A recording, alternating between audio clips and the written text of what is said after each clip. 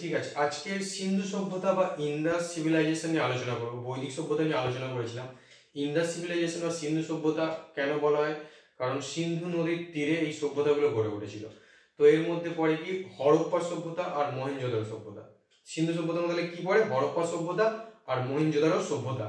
ঠিক আছে, তো এখানে কয়েকটি উন্নত শহর ছিল, যেমন হরপ্পা মহেঞ্জোদারো কালীবঙ্গান লোথাল, আর ছিল তোমার ধোলাবিরা তাহলে কি? হরপ্পা মহেঞ্জোদারো কালীবঙ্গান লোথাল আর ধোলাবিরা হরপ্পা আর মহেঞ্জোদারোটা গোটাটাই এখন পাকিস্তানে আছে, ঠিক আছে? হরপ্পা আর মহেঞ্জোদারো গোটাটাই এখন পাকিস্তানে আছে। আর কালীগঙ্গা হচ্ছে আমাদের রাজস্থানে, আর লোথাল আর ধোলাভিরা হচ্ছে তোমার গুজরাট। তাহলে লোথাল আর ধোলাভিরা হচ্ছে গুজরাট, কালীগঙ্গা হচ্ছে কোথায়? রাজস্থানে। আর হরপ্পা ও মহেঞ্জোদারো কোথায় আছে বললাম? পাকিস্তানে। তো এখানে হরপ্পা সভ্যতা আর মহেঞ্জোদারো সভ্যতা সিন্ধু সভ্যতার মধ্যেই পড়ে তাহলে, ঠিক আছে?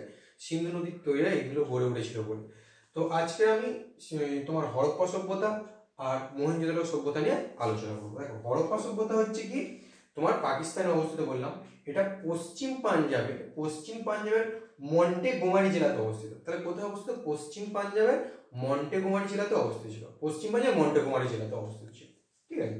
তো এটা আবিষ্কার হয়েছিল উনিশশো একুশ উনিশশো একুশ খ্রিস্টাব্দে কে করেছিল? দয়ারাম দয়ারাম সাহানি করেছিল। দয়ারাম সাহানি করেছিল কার তত্ত্বাবধানে? John Marshall. জন মার্শালের তত্ত্বাবধানে দুটো সভ্যতা গড়ে উঠেছি মানে খোঁজ হয়েছিল, হরপ্পা সভ্যতা আর মহেঞ্জোদারো হরপ্পাটা করেছিল কি? তোমার দয়ারাম সাহানি আর মহেঞ্জোদারোটা করেছিল উনিশশো বাইশ। হরপ্পা হয়েছিল উনিশশো একুশ, আর উনিশশো বাইশ ওটা হয়েছিল তোমার মহেঞ্জোদারোটা করেছিল রাখাল দাস বন্দ্যোপাধ্যায়। ক্লিয়ার এবার বলছিলাম কি, হরপ্পা হচ্ছে তোমার দক্ষিণ পাঞ্জাবের মন্টগোমারি জেলাতে অবস্থিত। তো এখানে মেন মেন যে পয়েন্টটা হচ্ছে, এখানে কি হয়েছিল? প্রথম শস্যাগার দেখা যায়। এখানে শস্যাগারটা দেখা যায় শস্যাগারে ঠিক আছে? এছাড়া এদের কিছু নগর পরিকল্পনা খুব ভালো ছিল। এই সময় পোরাইটের ব্যবহার হতো। শস্যাগার নগর পরিকল্পনা, পোরাইট। আর এখানে মানে মাতৃতান্ত্রিক ছিল, ঠিক আছে? আর তোমাদের আমি পড়েছিলাম বৈদিক সভ্যতা পিতৃতান্ত্রিক এটা মাতৃতান্ত্রিক ছিল।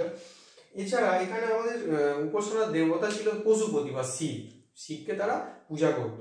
এছাড়া তামা টিন, ব্রোঞ্জ এসবের ব্যবহার জানতো, এসব ধাতু কিন্তু লোহার ব্যবহার জানতো না। কিন্তু আমরা পড়েছিলাম যে বৈদিক সভ্যতাকে তখন কিন্তু লোহার ব্যবহার জানতো। তো তোমার এই গেল হরপ্পা সভ্যতা। এবার মহেঞ্জোদারো মহেঞ্জোদারো কথার অর্থ হচ্ছে মৃতের স্তূপ আর হরপ্পা কথার অর্থ হচ্ছে পশুপতির খাদ্য।